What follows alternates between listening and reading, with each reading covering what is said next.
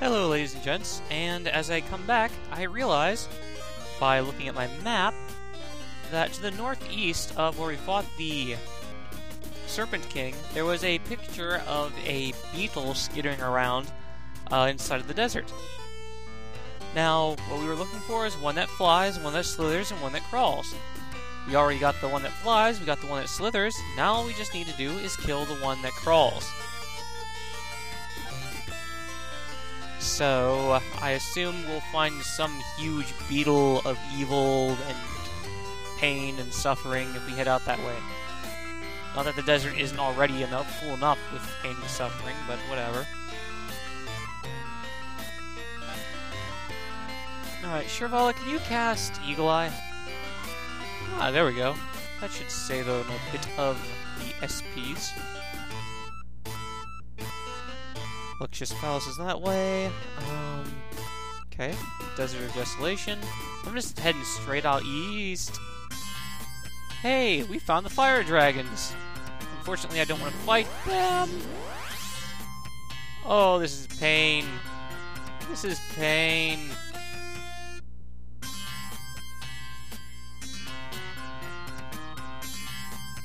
Alright, cast Time Distortion. Yeah, let's just rest up right here. Cassandra, cast. Protection from magic, protection from elements. And Shulvala, cast. Eagle Eye. Alright.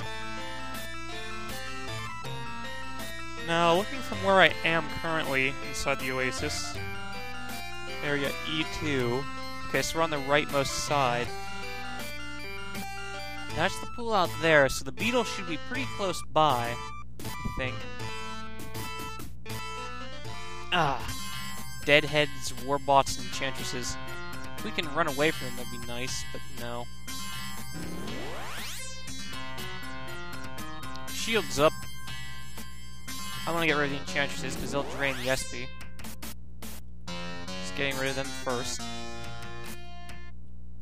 Alright, and then these guys. Deadheads I can do without. Oh, and they drained our cleric. Urgh. Fortunately, this allows me to just be able to cast Sandstorm. And that should take care of the warbots. Oh, good, they can be shot open too. Like they just are built to take the knocks. Got tight nuts!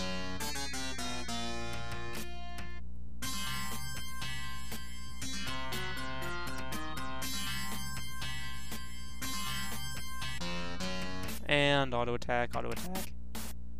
They're pretty much already dead. Oh! How did you sneak in and attack like that to kill him? There we go. Your party has won its 522nd battle. All surviving party members receive 39,375 experience points. Yays! And I'm going to heal up, of course, before I open up the treasure chests.